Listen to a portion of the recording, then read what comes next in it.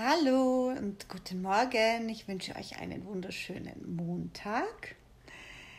Ja, ich habe hier ein aktuelles Thema für mich. Also, wie gesagt, ich bin ja immer diejenige, die versucht, offen und ehrlich zu sein und euch damit Tipps zu geben. Und ähm, es ist mir jetzt am Wochenende wieder mal etwas klar geworden. Und zwar, dass es so wichtig ist, dass wir für uns klar werden, wofür wir zur Verfügung stellen.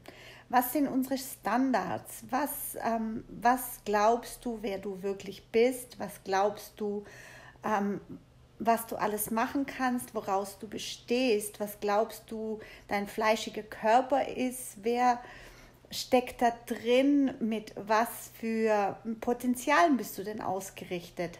Hallo, guten Morgen, Monika. Ja, und es ist so wichtig, sich das immer mal wieder klar zu machen und vor allem halt auch am Montag. Ähm, mir ist am Wochenende was Spannendes passiert. Und zwar ist mir das so glasklar wieder ähm, ja, vor Augen geführt worden. Es geht nicht darum, was die anderen denken, fühlen und handeln, sondern es geht einzig und allein darum, was du für dich entscheidest, was für dich richtig ist. Und wenn du das weißt und da ganz, ganz klar bist, dann wirst du nicht mehr zur Projektionsfläche der Dramen, der Limitierungen anderer Menschen. Und vielleicht kennt ihr das. Oftmals kommt einer und beschuldigt euch ähm, sagt, ja, du hast aber das und das gemacht oder du hast das und das nicht gemacht und weil du das und das gesagt hast, hat es für mich bedeutet, dass äh, die Situation so und so ist und deswegen konnte ich das nicht machen und bin ich dort nicht hingegangen und so weiter und so fort. Und häufig suchen eben Menschen eine Projektionsfläche für ihre eigenen Beschränkungen und Dramen in anderen.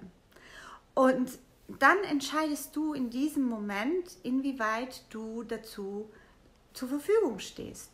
Inwieweit du das Ganze auf dich nimmst, inwieweit, inwieweit du anfängst dich zu verteidigen, zu sagen, ja, aber das habe ich nicht gesagt, aber das habe ich nicht so gemeint, aber meine Intention war ja eine ganz andere. Und da kannst du dich wirklich aussprechen, du kannst dich mit anderen Leuten in Diskussionen ver, verfangen, stundenlang Energie verpuffern. Andere Leute, die nicht bereit sind, aus ihrem Film auszutreten, aus ihren limitierenden Vorstellungen und aus ihren Lebensdramen auszutreten, die können dich nicht hören. Da kannst du sagen, ja, aber ich habe doch das gesagt und du hast es nicht verstanden und ich wollte das doch so und so haben, aber du hast nicht, äh, mich da nicht unterstützt und so weiter und so fort. Du kannst diskutieren und diskutieren und der andere will nur eins. Er will eine Befreiung seiner eigenen Limitierungen, indem du irgendwo Schuld hast oder indem du Schuld annimmst oder Schuld bekennst aus seinen Augen und ähm, dann fühlt er sich besser und merkt, denkt, ah ja, das, äh, die andere hat ja einen Fehler gemacht und sie hat mir das nicht gesagt und hier war das ja nicht so und kein Wunder musste ich reagieren, wie ich reagiert habe.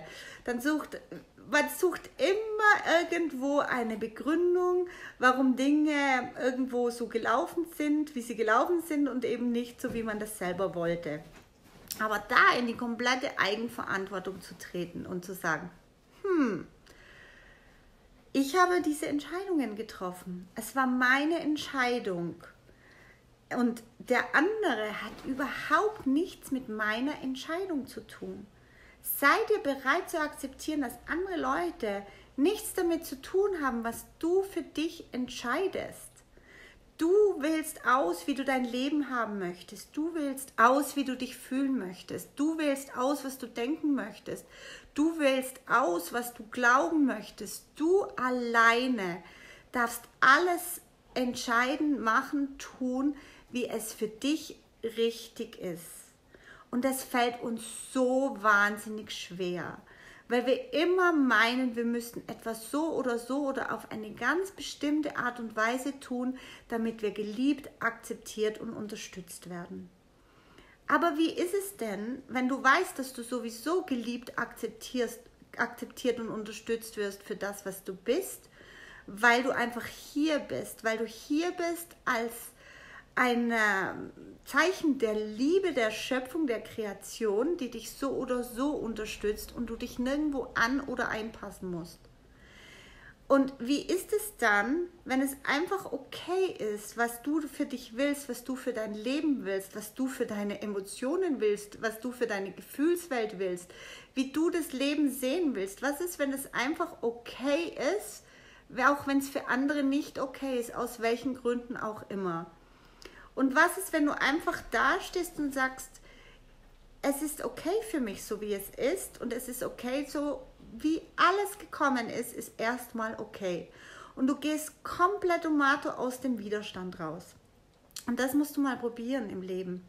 Dann werden, wird dein Drumherum anfangen, ein bisschen zu rebellieren, weil es natürlich gefüttert werden will in seinen limitierenden Vorstellungen, in seinen Begrenzungen. Und wenn du dich da plötzlich rausziehst und einfach kein Futter mehr lieferst, keine Aufmerksamkeit mehr lieferst, dann wollen die dich mit allen Mitteln dort reinziehen und sagen, ja, aber dir ist es scheißegal, wie es mir geht und dich interessiert es gar nicht, was ich denke und so weiter und so fort. Und wenn du dann sagst, ja, weil das hat mit mir nichts zu tun, wenn du dich limitiert siehst.